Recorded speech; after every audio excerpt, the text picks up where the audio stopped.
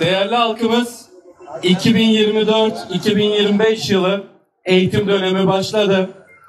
Hepimizin bildiği gibi birçok sıkıntıyla başladı bu eğitim dönemi. Buna ilişkin basın açıklamamızı gerçekleştireceğiz. Basın açıklamamıza destek veren tüm kurumlara, STK'lara, meslek odalarına teşekkür ediyoruz. Demokratik, bilimsel, eşit, parasız, ana dilinde layık ve özgürlükçü eğitim en temel mücadele alanımızdır. Yeni bir eğitim dönemine bin bir kaygı ve sorun ile başlıyoruz.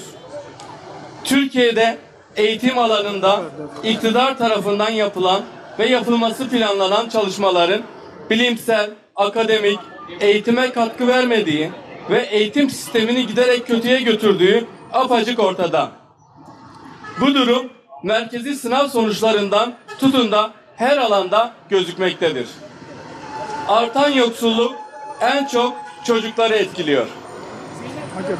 Pazartesi günü kaç çocuğun çantasının eksik olduğu, kıyafetleri tam ola- olacak şekilde okula başladığı ülkenin temel meselesidir.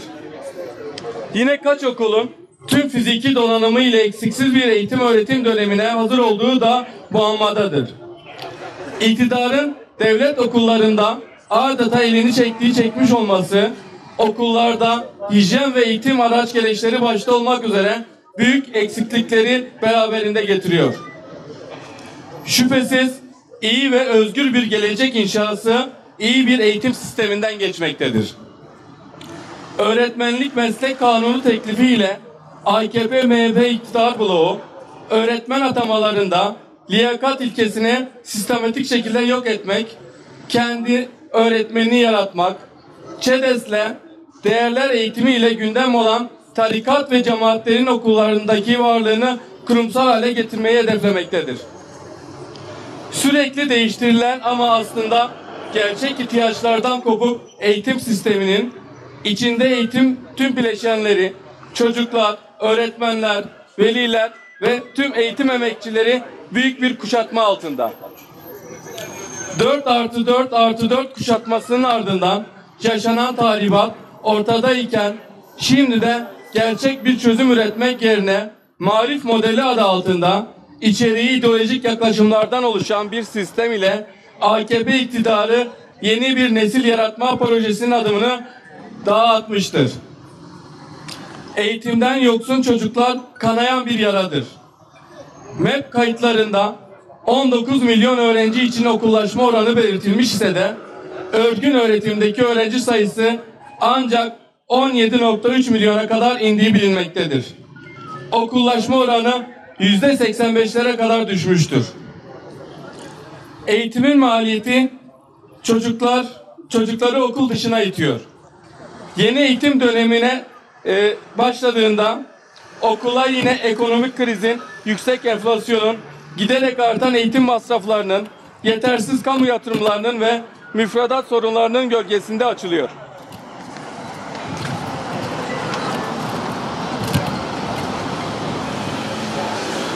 TÜİK verilerine göre 2024 Temmuz ayında en yüksek fiyat artışı yaklaşık %105 ile eğitimde yaşanmıştır.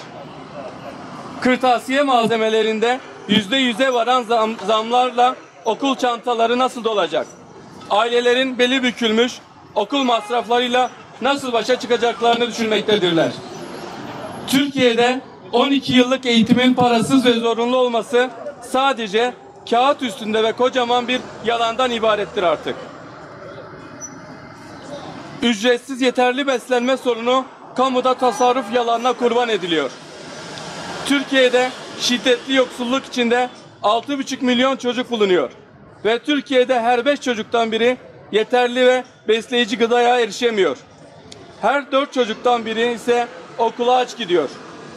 Coğrafi eşitsizlikler de göz önünde alındığında bu durum daha da vahim bir hal almıştır. İktidarın gözü yalnızca çocukların ekmeğine ekmeğine dikmiyor, onları aynı zamanda işçileştiriyor. Çocuklar ve gençler için özgür bir ortamda demokratik, çoğulcu, bilimsel, layık, özgürlükçü, ekolojist, ana dilde ve cinsiyet özgürlükçü eğitim koşullarının yine çocuklar ve gençler ile birlikte inşa edilmesi en acil meseledir. Ancak bugün baktığımızda 2024-2025 eğitim ve öğretim yılı başlarken ana dilde eğitim hakkı daha 100 yıllık bir sorun olarak hala devam etmektedir. Ana dilde eğitim hakkı gasp ediliyor. Bu eğitim öğretim yılına yine milyonlarca çocuk ana dilini kullanmadan başlayacak ve devam etmek zorunda kalacaktır. En temel insan haklarından biri olan ana dilde eğitim hakkı uluslararası sözleşmelerde sabit kılınmasına rağmen Türkiye'de Kürt, Arap, Ermeni, Süryani, Çerkez ve Laz hakları için boğaz gasp edilmektedir. Özellikle ana dilini eğitimde kullanamayan çocuklar okula başladıkları anda hem dersleri Türkçe'ye aynı anda öğrenmek zorunda kalıyor.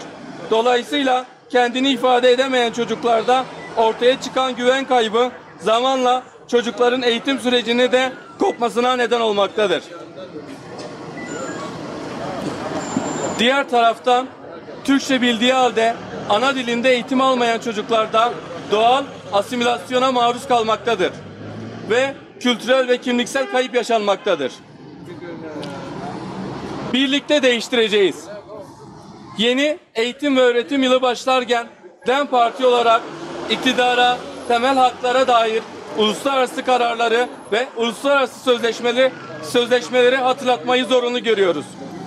Ancak bu sözleşmelerle birlikte daha önemlisi hem iktidara bu ülkenin toprakların okula aç giden çocuklara, işçilik yapan çocuklara ve gençlere değil okula karnı tok, aklı berrak giden çocuklara ihtiyacının olduğunu hatırlatıyoruz.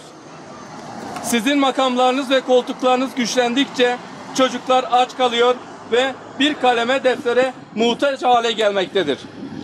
Sizin şahsi yaşamlarınızın bolluğu, bereketi arttıkça yoksulun evinde bir ekmek dahi azalıyor. Sizler dünyanın her yerinde servet sahibi oldukça ana dilinden, kültüründen ve kendi varlığından mahrum bıraktığınız çocuklar yaşadıkları topraklara bir kez daha yabancı oluyor. Eğitimde çocukların yaşadığı hiçbir sorunun münferit olmadığını biliyoruz. Yoksulluk ya da istis- istismar veyahut açlık ya da işçilik. Hiçbiri münferit değil. Elbette hiçbiri çocukların kaderi de değil. Buradan 2024-25 eğitim öğretim dönemine başlarken sadece iktidara ve tüm siyasi partilere bir kez daha sorumluluklarını hatırlatıyoruz. Aynı zamanda tüm eğitim bileşenlerine, velilere, eğitim sendikalarına ve tüm eğitim emekçilerine eğitimde eşit ve özgür bir sistemin mücadelesini hep birlikte güçlendirmeye çağrı yapıyoruz. Eğitimde çocukların yaşadıkları hiçbir eşitsizlik ve baskı kader olmadığı gibi biliyoruz ki bu sistem zorunlu ve vazgeçilmez de değildir. 2024-2025 eğitim yılı bize dayatılan bu sistemi en güçlü şekilde dönüştürdüğümüz yıl olsun. Çocukların, velilerin, tüm eğitim emekçilerinin ve hepimizin evet birlikte değiştirebiliriz demesinin yılı olsun. Değerli halkımız, eğitimde çocukların yaşadıkları hiçbir eşitsizlik ve baskı kader değil, bu sistem zorunlu ve vazgeçilmez değildir. Gelin çocuklar, gençler, veliler, tüm eğitim emekçileri ve hepimiz el ele verelim. Bize dayatılan bu eşitsiz, adaletsiz sistemi hep birlikte değiştirelim.